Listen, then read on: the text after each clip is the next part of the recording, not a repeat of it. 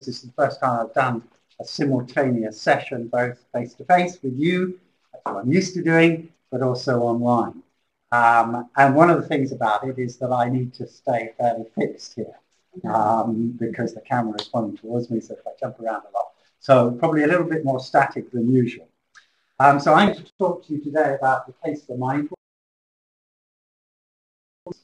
Um, I have been working over the last 10 years developing an approach towards developing people internationally, um, which have, has a very large slice of the intercultural. So, so will, I'll be talking a little about this approach.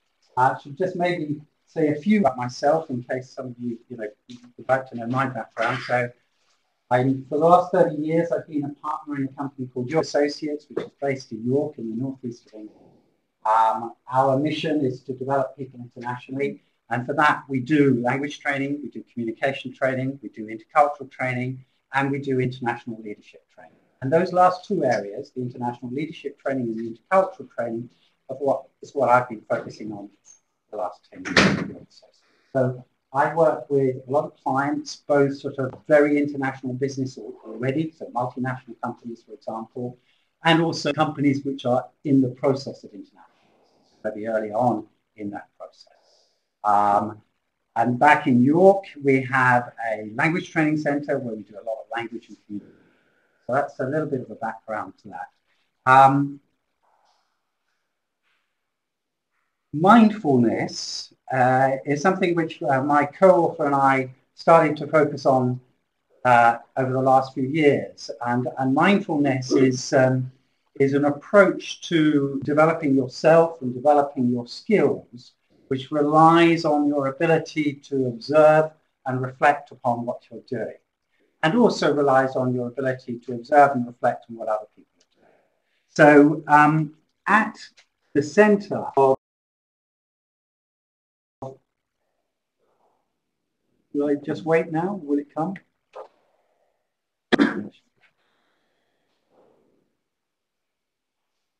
Shall I click then, please?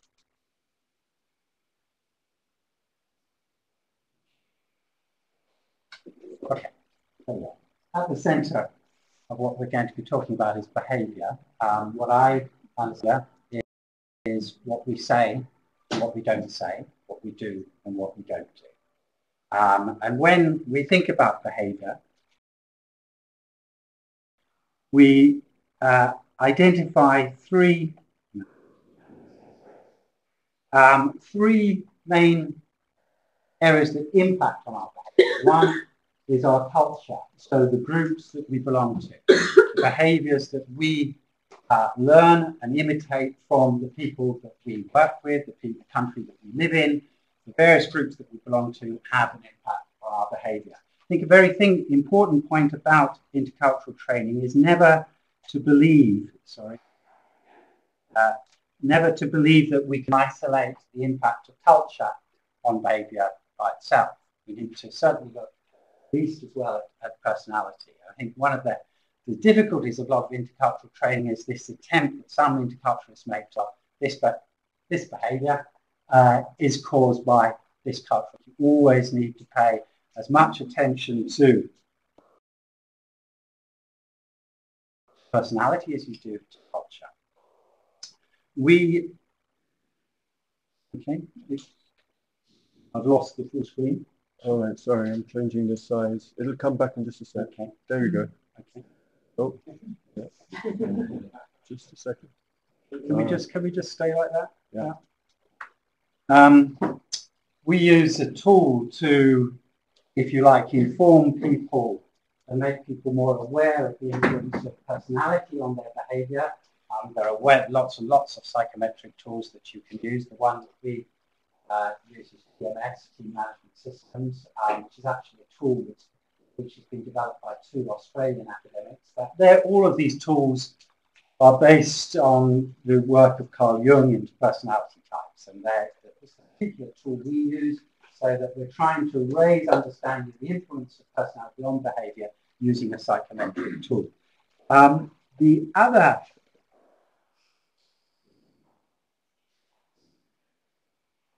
when you again when you when you focus on behavior it would obviously be a mistake to to say well behavior is due to personality behavior is to do to do with culture. Of course behavior is also related to the situation we're in. We adapt our behavior according to the situation i mean if you do for example psychometric uh, profiles of people on their personality they're not they're not set in stone for the whole of their lives. Uh, they do develop and uh, personality develops and obviously the situations you find yourself in over life have an impact. So it's important always to be clear that, you know, behavior, international behavior particularly, is linked to personality, culture, and situation. What we um, try to do is to get our participants to reflect on the impact of personality, culture, and the situation on their behavior and also on the behavior of the people that they're working with. Um, so, and that, that, that process of reflection, mindfulness, um, is to do with how able we are to observe and think about our own behavior and observe and think about other people's um, This is something which, very least, I think one needs to be training participants to do after the event uh, if not during the event. I mean, if you think about what I'm doing at the moment, um, if I'm very sort of sophisticated, I can be thinking about the way I'm doing this as I'm doing it. It's quite demanding. But what certainly I can do is after the event, I can think about how I've done it, whether I could do it a different way. So that, that ability to reflect afterwards, to think about how we've done things, is what we, what we understand by mindfulness it's important to distinguish between uh, influence on behavior and skills.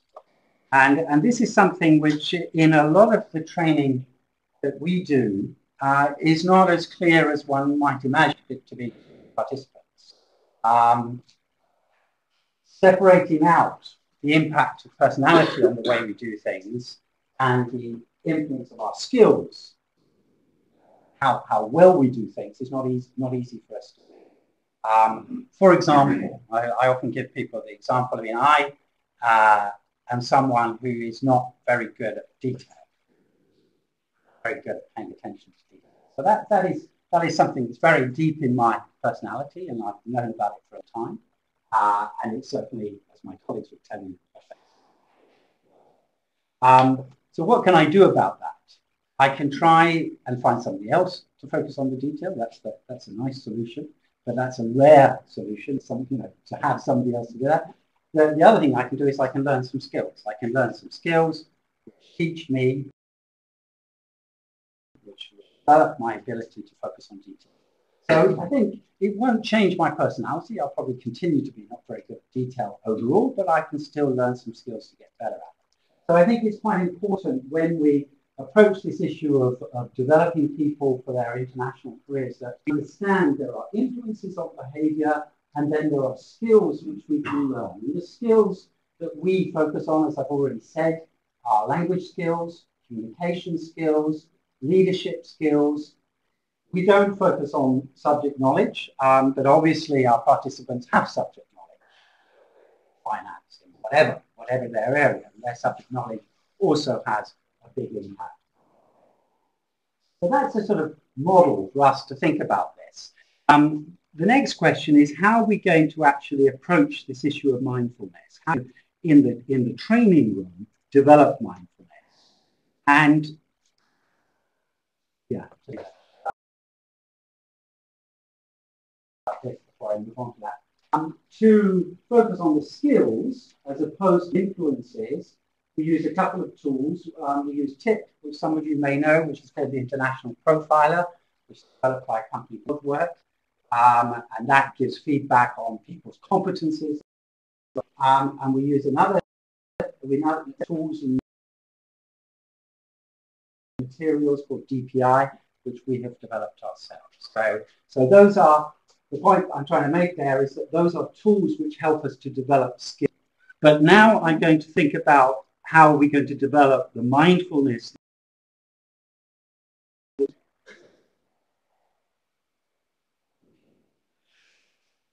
that's a reminder there of what we mean by mindfulness, a focus on context and process as well as outcomes.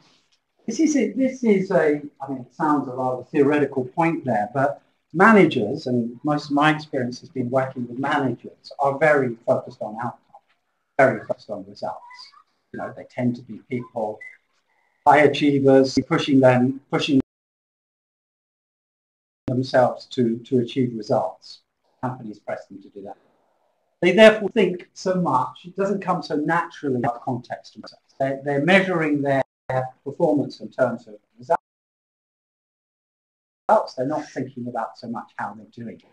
So after a meeting, they don't necessarily think about, well, how did I run that meeting? Perhaps could I run that meeting in a way? What they think about is, did we achieve what I wanted to achieve? That's the way they tend to think about their work. So getting them to be mindful about context and process is quite difficult to do. Um, and, and being mindful means developing their ability to reflect on their own and others' behavior. So one way, one way we can do that um, is to use cases. Um, I'm title of my talk today, um, the case for mindfulness.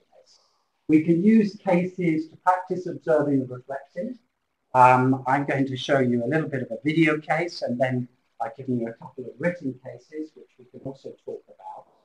And why do we use cases? We, we use cases because they're a very good bridge um, which encourage our learners to move from the observation reflection on maybe fictional people, much easier to reflect something we see on, something we read about, to observing and reflecting on themselves and their colleagues.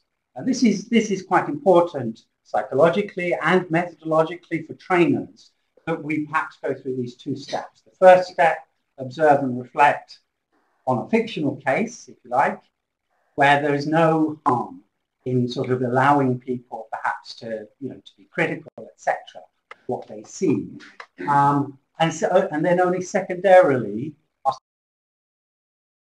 them to reflect on their own on their own behaviour.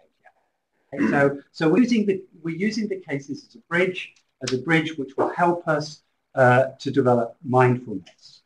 Um, so the first uh, case I'd like to show you, just a little extract. Some of you will be in this, so I'm not going to spend too long on this one. Uh, this is a bit of video, um, which comes from the materials which I mentioned earlier, earlier called the DPI story. So what we've created here is a fictional case, company, certain project in mind, with six people involved um, six very diverse people, diverse in terms of nationality, in terms of business area, functional area, in terms of gender, in terms of native and non-native speakers. So a lot of diversity in this particular case.